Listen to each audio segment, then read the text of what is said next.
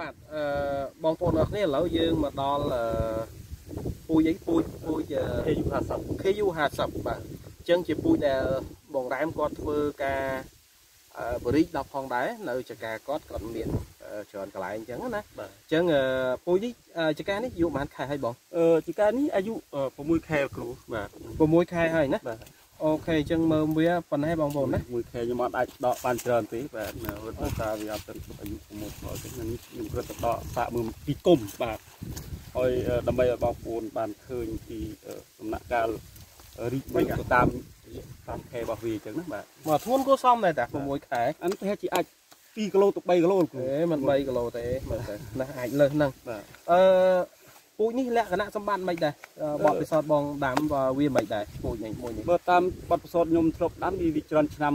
បរិបភាពពូជផ្សេងអានេះខ្ញុំដាំមុនគេណាបាទហើយខ្ញុំសង្កេតមើលថាវាការលូតទូនៃការលូតលាស់វាគឺលឿនបំផុតបាទអូលឿនណាស់ពូជនេះណាបាទបាទហើយបើទាកតងនឹងការឆ្លងជំងឺគឺវាគឺវាខុសពីពូជផ្សេងផ្សេងវាអត់ងាយឆ្លងទេបាទអូខេ បើនិយាយរត់ឆ្លងហ្នឹងគឺសំដៅលើជំងឺជំងឺម៉ូស្អិកម៉ូស្អិកលើតំណាំដឡូមីនណាបាទជំងឺម៉ូស្អិកបាទអញ្ចឹងហើយចំពោះសត្វល្អិតអត់សូវមានការបំផ្លាញទេមិនអញ្ចឹងឯពូជនេះឬក៏មានដែរបើមានតិចតួចបាទមានតិចតួចបើបាទធៀបនឹងពូជផ្សេងទៀតបាទអូខេអញ្ចឹងឃើញថាពូជនេះគុណសម្បត្តិល្អមែនតើអញ្ចឹងបានបងធ្វើការអឺធ្វើការដាំដុះនឹងបរិយពូជនេះមិនអញ្ចឹងណាបាទបាទហើយជាបទពិសោធន៍ បងដាំក្នុងមហត្តាយើងបានថែមបានតោនដែរពូជនេះបើជានេះឥឡូវដោយសារយើង6ខែយើងប៉ាន់អត់ត្រូវទេព្រោះវាទៅបានបាទអាយុប៉ុណ្ណឹងហើយអញ្ចឹងវាធម្មតាយើងប្រមូលប្រហែលប្រមូល12ខែអាយុ11 12ខែណោះបងប្អូនអញ្ចឹងយើងមិនអឺយើងអាចតន់តេស្តមើលបានទេអញ្ចឹងជាបទពិសោធន៍កន្លងកន្លងមកបានថែមបានតោនដែរពូជនេះអឺ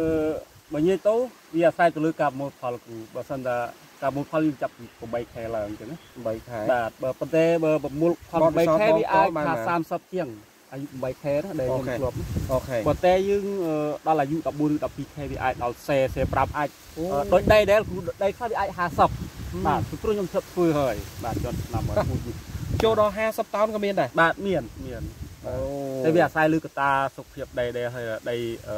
ទំនាបដីគោកដីពោះអីហ្នឹងណាបាទអញ្ចឹងអឺវាអាស្រ័យទៅលើគុណភាពដីរបស់យើងបាទស្ថានភាពជាក់ស្ដែងហើយនឹងការបច្ចេកទេសដាំដុះទាំងអស់ប៉ុណ្ណាបាទអញ្ចឹងជារួមពូជនេះគឺយើងអាចនិយាយថាពូជល្អអញ្ចឹងណាពូជល្អពូជល្អធន់ជំងឺណាសត្វល្អិតយាយីនោះវាមានតិចតួចហើយវាអឺទិន្នផលក៏ល្អប្រសើរម្សៅវិញក៏ល្អដែរមិនចឹងបាទបាទម្សៅល្អអូខេអញ្ចឹងមិនខុសទេបងប្អូនអាចជ្រើសរើសបានក្នុងការយកផលិតអឺពូជ បន្ថែមហើយពូជនេះគឺជាពូជដែលយើងអឺតែងតែជំរុញធ្វើការដាំដុះក្នុងការពង្រីកដោយសារពូជវាធន់នឹងជំងឺម៉ូស្អិកដែលកន្លងមកនេះបញ្ហាជំងឺម៉ូស្អិកលើដំណាំផ្លូមីនេះវាផ្ទុះរីករាលច្រើនកន្លែងអញ្ចឹងយើងគួរតែរកពូជណាដែលវាធន់ពូជណាដែលមិនងាយនឹងឆ្លងហើយបានទិន្នផលដែលល្អប្រសើរដែលបងប្អូនអាចបានប្រាក់ចំណូលពីការដាំដុះអញ្ចឹងយើងសំខាន់យើងធ្វើការ រើសពូជឲ្យវាត្រូវអញ្ចឹងក្នុងហ្នឹងមានពូជ KU 50 ដែលយើងអាចណែនាំបានអញ្ចឹងបងណាហើយមានពូជផ្សេងទៀតមានពូជអីខ្លះទៀតដែលដែលបង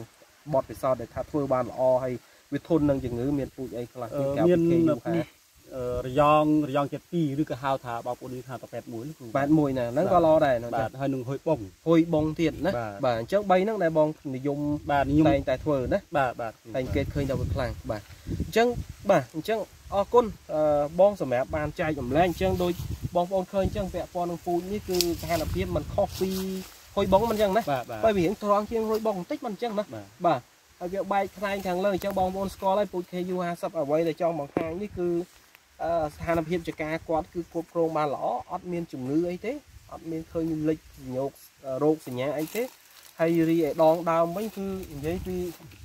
បាទអូធំធំបាទបើយើងធំមើលនេះណា តែយើងធំតែម្ដងនេះបបាក់ដាំទៀតណាវាធំពេកបាទអញ្ចឹងវាបបាក់ដោតវាធំប៉ុអាន្តែនេះដោយសារវាវាកលៀតអានេះវាកលៀតដល់វាវាវាធំនោះគ្រូបាទហ្នឹងហើយបាទអូខេប៉ុន្តែជារួមយើងឃើញថាដើមវាសុខភាពល្អហើយធំថ្លោះមានកម្លាំងអញ្ចឹងយកដាំទៅដឹងអាដុះបកែហើយណា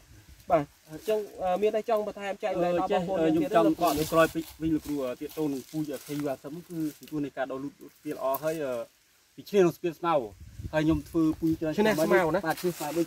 ធ្វើជាក់ស្ដែងគឺចឹងខ្ញុំអត់ទាន់បានធ្វើធ្វើជើងនៅឡើយទេបាទអឺអត់បានធ្វើទាន់ធ្វើជើងទេអត់ដែលបានធ្វើស្មៅទេ តាំងពីដើមមកតាំងពីដើមមកបាទអាយ៉ាអញ្ចឹងมันអស់តោះហើយណាបាទយើងធ្វើរៀបចំដីបានល្អដាក់ពូជត្រូវបាទកាត់បន្ថយការចំណាយផ្សេងផ្សេងដូចជាពិសេសរឿងស្មៅរឿងធ្វើដលងនេះគឺចំណាយច្រើនអញ្ចឹងបាទបាទបាទហើយនៅពេលដែលយើងធ្វើអញ្ចេះទៅរើសពូជតែវា ស្ទុះខ្លាំងដោះលូតលាស់លឿនអញ្ចឹងយើងចំណេញរឿងហ្នឹងមួយទៀតអញ្ចឹងអឺជាចំណុចល្អអរគុណហើយបងបានចែកម្លែកជាចំណុចនេះឲ្យបងប្អូនយើងអឺបានដឹងហើយក៏បញ្ជាក់ទៀតថាអឺការដាំដុះនេះវាមានពូជល្អហើយបងប្អូនត្រូវមានកត្តាផ្សេងផ្សេងទៀតបានជោគជ័យមិនអញ្ចឹងណាបាទมันមានតែពូជបានរើសបានពូជល្អហើយគិតតែជោគជ័យទេគឺការដាំការថែទាំការគ្រប់គ្រងកត្តាចង្រៃការ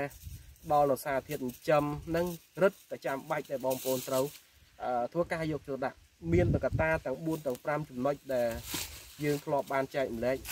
យើងធ្វើបានល្អមកចប់ហើយទើបយើងអាចទទួលបានជោគជ័យបាទអញ្ចឹងយើងមានតែប៉ុណ្ណឹងមិនអញ្ចឹងបងណាបាទបាទបាទអរគុណច្រើនសម្រាប់ការតាមដានយើងនឹងជួបគ្នានៅឱកាសក្រោយទៀតនៅនៅនៅពូជផ្សេងទៀតអញ្ចឹងណាបងបាទសល់ពីពូជនៅមានបាទពូជផ្សេងទៀតគាត់បង្ហាញមាន3ហើយនៅនៅពីរពូជទៀតបាទពូជបាទអរគុណច្រើនបាទជំរាបលា